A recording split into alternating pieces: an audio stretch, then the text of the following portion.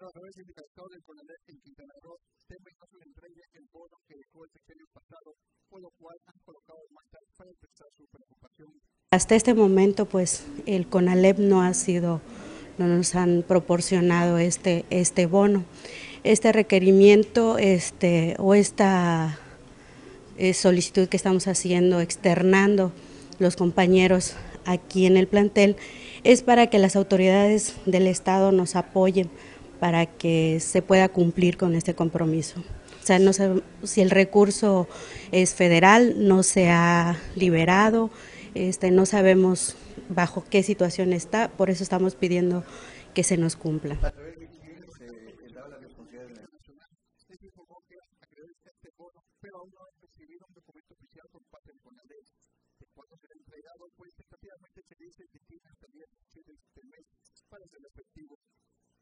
Que en Quintana Roo son 176 trabajadores los que están en espera de este logro.